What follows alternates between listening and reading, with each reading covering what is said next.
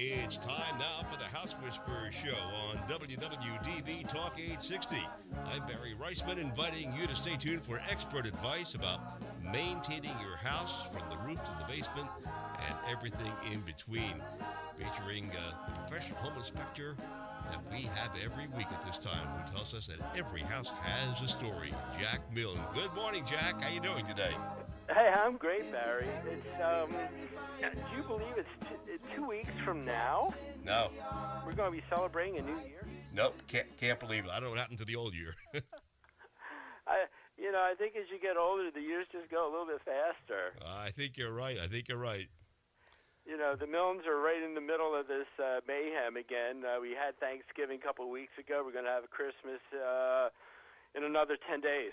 Uh, you know, so just when we got done cleaning the house and making a mess, it gives us a little bit of a reprieve, and you know, to try to go do the shopping and try to, you know, get the Christmas decorations up and switching gears completely and uh, and then again be ready to have uh, a bunch of people at the table once more.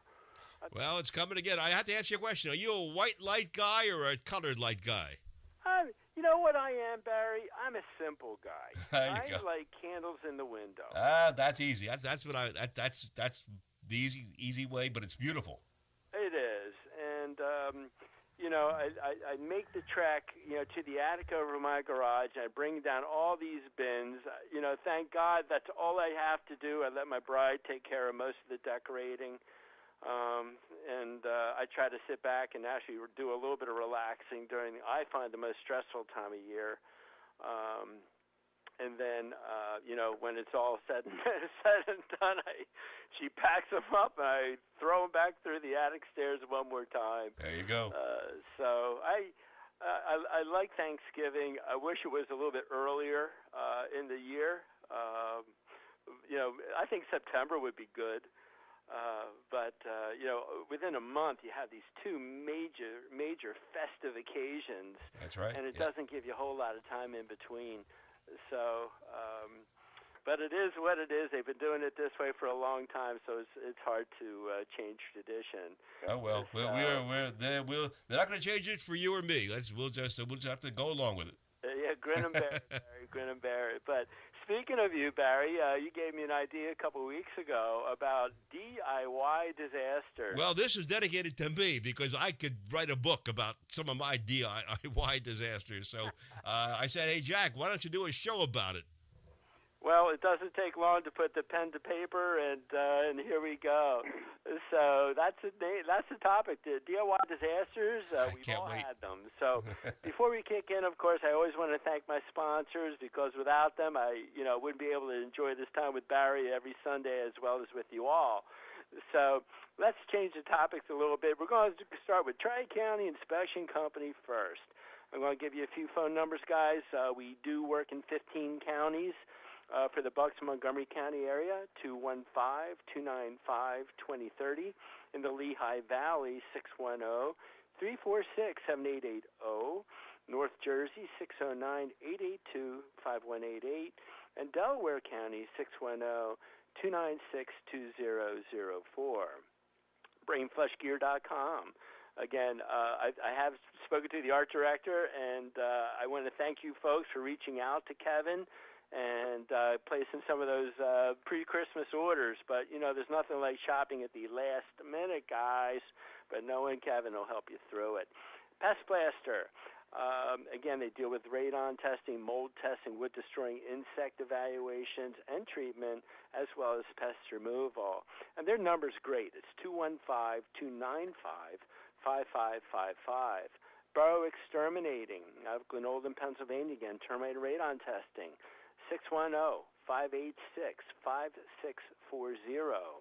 And then Bucksmont Inspections. Again, they do on site sewage evaluations, they do treatments, they do repairs and design. So if you're up there in the upper parts of these counties or outer outer part of those counties, six, uh, they're at 215 669 4213. So, a quick visit to the email box. Scott from Yardley, by the way, my hometown, uh, sent me this message a few weeks ago. I heard your show about fall prep. um, after cleaning my gutters for what appears to be the umpteenth time, uh, what was the name of the gutter guards that you like? So, Scott, it's easy. It's called Leaf Relief Gutter Guards. Uh, usually installed by a professional gutter, um, um, um, I guess you call them mechanic, um, and they and they come in anywhere from four to six foot strips. They go up and under the shingle tab and then mechanically fasten to the lip of the uh, gutter um, with uh, hex head screws. I put them on my house when I replaced my roof two years ago, and this whole fall I went up there with my leaf blower and I cleared my gutters out, not only my house but for my garage, probably in about 20 minutes. Um, it was incredible, and uh, they work well. Uh, I've been through a few snows with them over the past few years, especially last year. No ice damming, no icicles. Uh, I've tried them all, Scott, and uh, I think the Leaf Relief is the best one out there. Um, you probably will not get them at the box stores. You might have to let your computer do the walking, but they're out there for you. So, folks, any questions anytime, please feel free to email me at the House Whisperer um, at gmail.com um, or uh, all the archives are available, uh, which is now probably about 125 shows deep at thehousewhispershow.com. And uh, always 24 7, you know, you can podcast the shows at www.dbam.com. So let's dive into today's topic. It's DIY disasters, and we've all had them. So before I start, I have to say most disasters start out due to uh, the rushing of the task and impatience.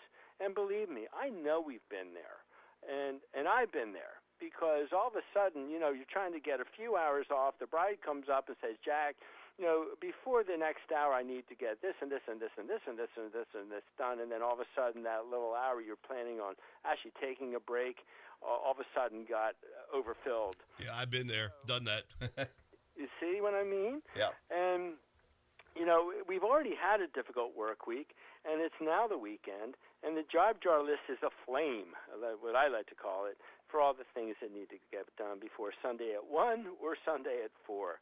And believe me, you know, I, I've I've been there. I've done it. You run around like a madman. You grab your tools and you take off. But uh, before you you know you start, you actually have to kind of sit back and take a deep breath you just want to inhale and you want to exhale slowly. And and I will do this, you know, uh, right the first time I think, but now the fun begins. So uh, I want to talk about Kelly, my neighbor. Uh, Kelly uh, moved out of my neighborhood probably about 20 years ago. Uh, but this is a fella who always had his hands busy doing something. And I saw him, and he told me this story where uh, on his electric oven, the rear burner um, of the stove didn't work. So he said he goes down to the electric panel and he shuts off the breaker labeled range. And then he touches the 220 line. Now, it was still hot or active.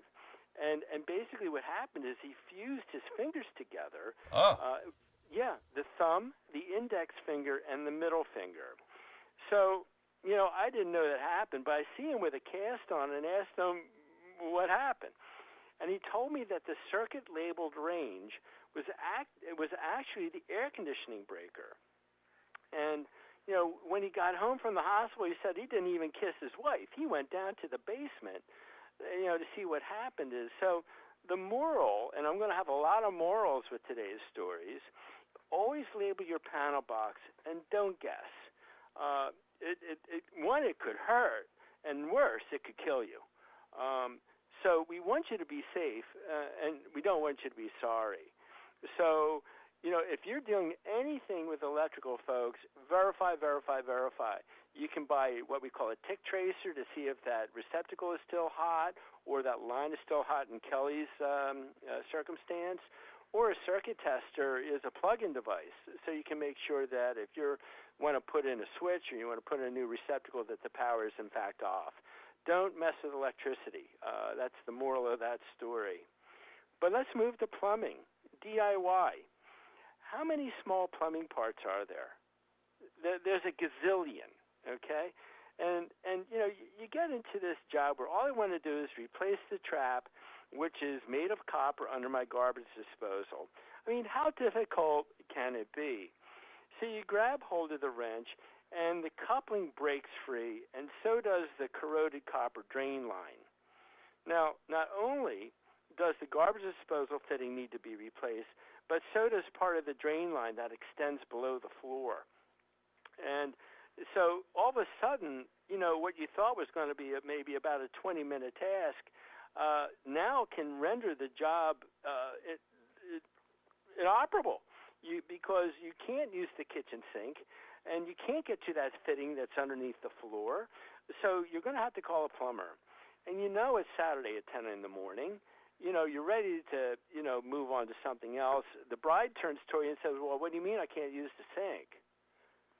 So now all of a sudden you, you think of backup. So well, we can use a laundry sink, honey, or you can go upstairs to the hall bathroom or downstairs to the pad room. But you know now I can't get the plumber because you know they, they're going to charge your firstborn, you know, to come out and make the repair on a weekend. So it looks like it might be Tuesday or Wednesday, you know, before the plumber can go ahead and and, and make this repair. Uh, I can get an appointment with my doctor faster than I can with my plumber. I can tell you that.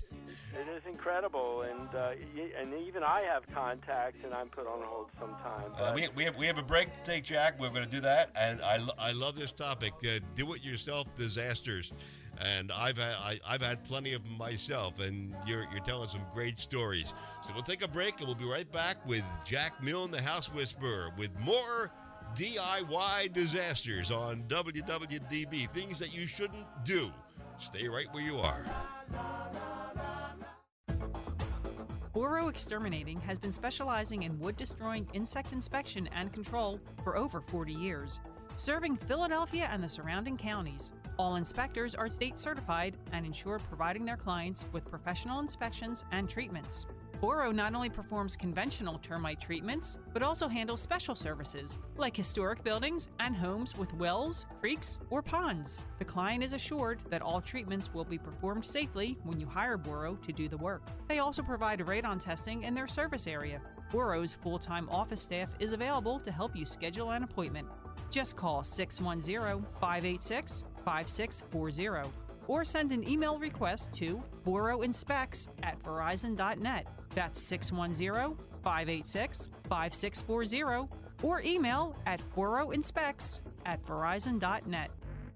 Specially created t-shirts by BrainFlushGear.com offer the extreme sports enthusiast an opportunity to have a clothing line available that suits their sport. BrainFlushGear.com understands that when we get the moment where we can jump on our motorcycles, wave runners, surfboards, snowmobiles, or skateboards, it can be priceless. They offer custom artwork including silk screening, transfers, and embroidery. Speak to one of their consultants today and they'll help you create your own Brain Flush. Visit brainflushgear.com or email them at contact at brainflushgear.com.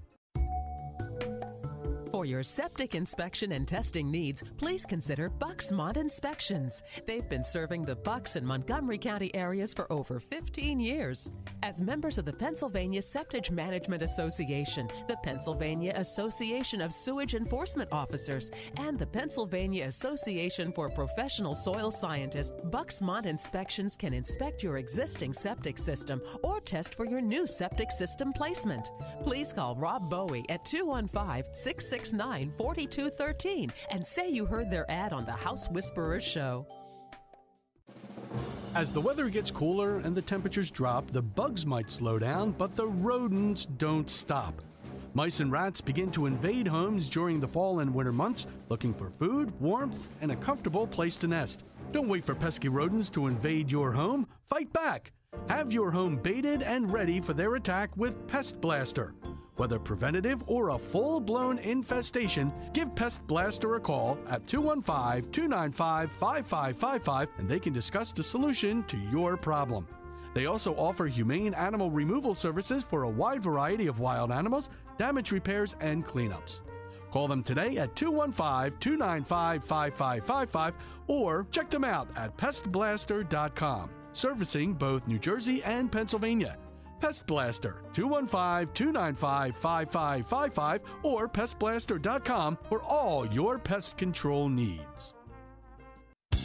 Tri County Inspection Company has been providing professional home inspections, commercial inspections, and historic property evaluations for over 25 years. Tri County Inspection Company covers 13 counties, serving both New Jersey and Pennsylvania. They've performed inspections for over 70,000 clients and are members of the American Society of Home Inspectors, as well as the Pennsylvania Home Inspectors Coalition. They are licensed in both Philadelphia and New Jersey. For all of your real estate transactions, transactions, call Tri County Inspections at 215 295 2030. For their New Jersey clientele, call 856 853 4224. In PA, call 215 295 2030. In New Jersey, 856 853 4224.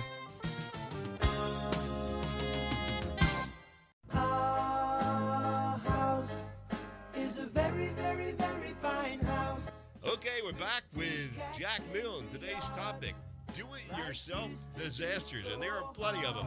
And Jack, you're going to tell us some more, right? Absolutely, Barry. I'm full of them today. I know. now, before we leave plumbing completely, request of your plumber to replace any components with plastic, be it PVC or ABS, because today, with the fittings as they are, everything's hand tight. Nothing has to be soldered or welded. Um, so go to plastic. This way, in case something fails in the future, I'll say eight times out of ten, you can do it yourself. Moving on, insulation. According to the experts, every attic should have at least 12 inches of insulation so I can protect my home from the utility companies. One of the things I hate to do is pay PECO, the gas bill, or any other utility bill because my goal in life is not to pay them much at all.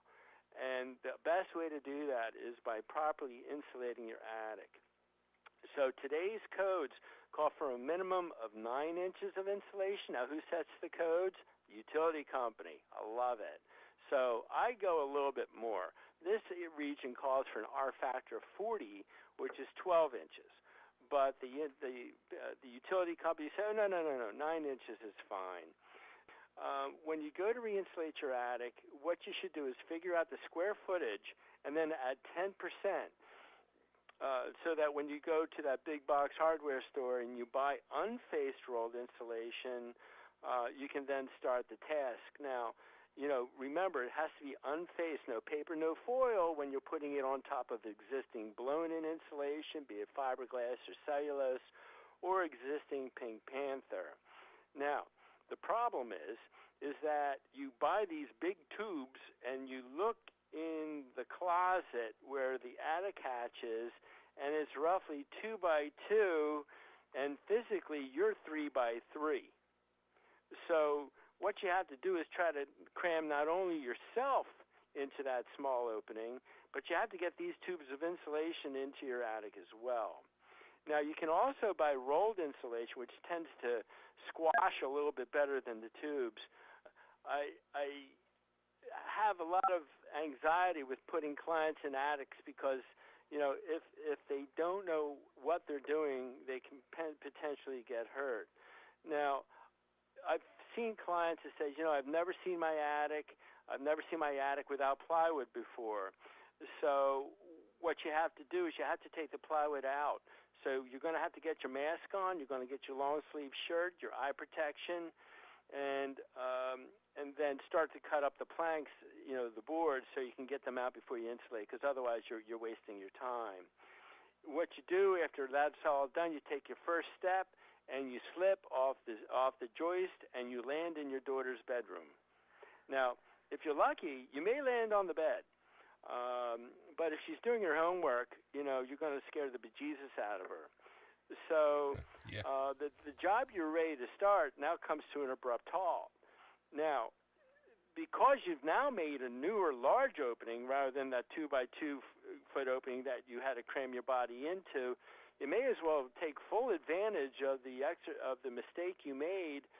Open the insulation and the joists even further. Get the new insulation up there finish the task at hand, but then guess what? You're going to have to call a sheetrocker because he's going to have to go ahead and patch your ceiling. He's going to have to uh, pry, um, got to uh, tape it, spackle it, sand it, spackle again, sand it, and repaint. Uh, I do ask that you be extremely careful. Uh, and if you if you don't have a comfort level being in a, in a closed environment, uh, you can always hire professionals.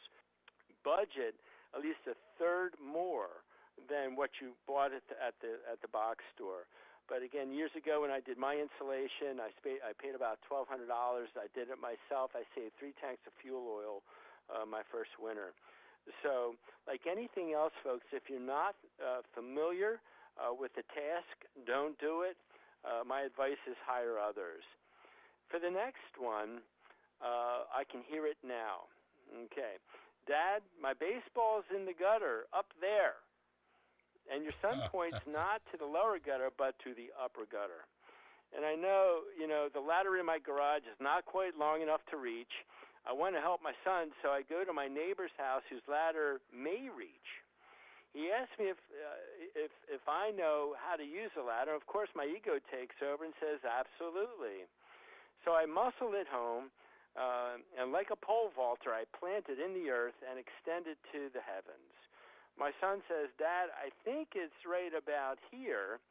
But as I look uh, in those puppy eyes, I know that the ball should be in the approximate area where he points. With much chagrin, I started climbing the rungs, not looking up or down, but straight ahead, so I don't really have to think about what I'm doing. And finally, step after step, higher and higher I go, and get to the gutter and look both left and right. I see the ball, and it's four feet to my left. It's slightly out of reach.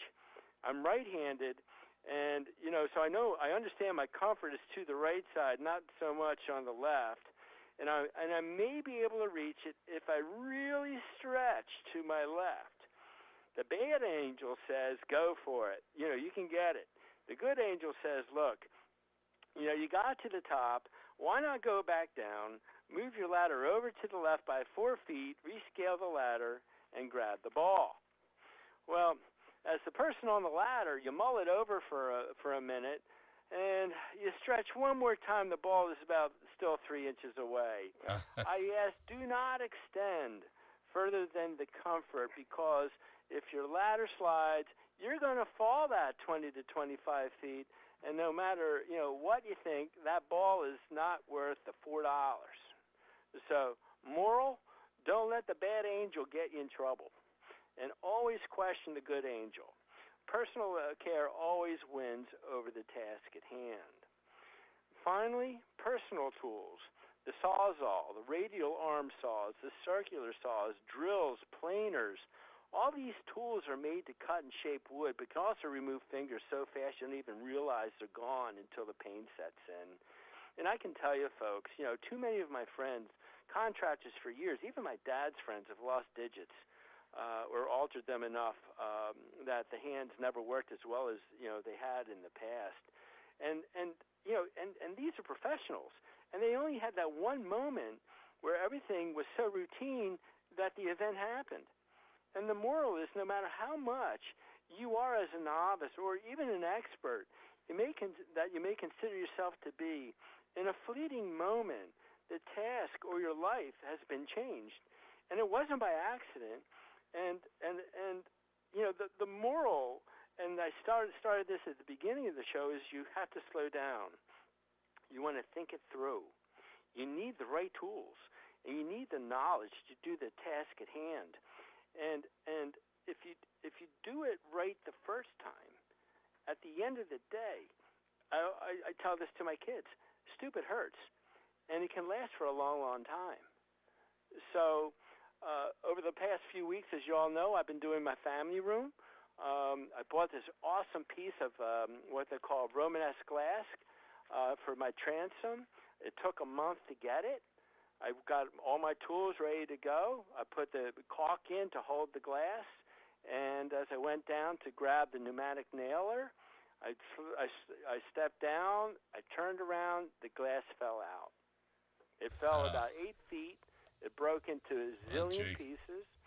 I scarred my brand new hardwood floor, and you know, I didn't think it through because I thought that the caulk would hold it in place.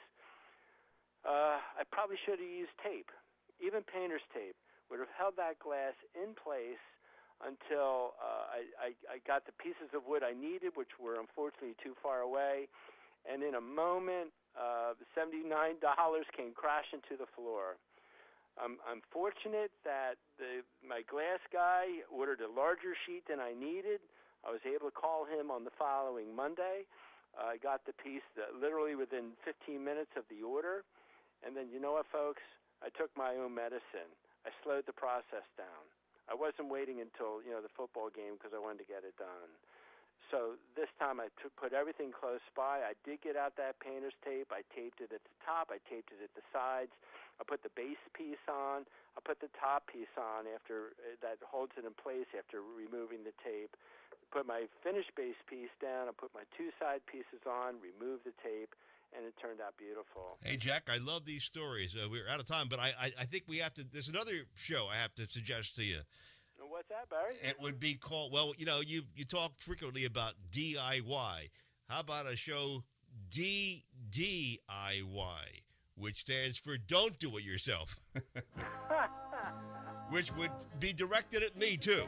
Ah, know, uh, I can probably come up with something on that, but folks, I think bottom line is if you're not familiar, don't attempt it. Uh, you can read it in books, and uh, but until you actually put your hands to those tools, if you're not familiar with it, I would play it safe and learn from the contractor of which you've just hired, and maybe next time you can do it yourself. So, in closing, folks, it's Sunday. Uh, please spend time with friends and family, and I look forward to seeing you next week on the House Whisperer. Absolutely, uh, this is I, love I love your stories. Uh, tune in again next week for another edition of the House Whisperer Show with professional Home Inspector Jack Milne. You can listen to previous programs, or if you have any questions, visit thehousewhisperershow.com, or you can go to our podcast right here at wwdbam.com. I'm Barry Reisman. Thanks for listening to WWDB Talk 860.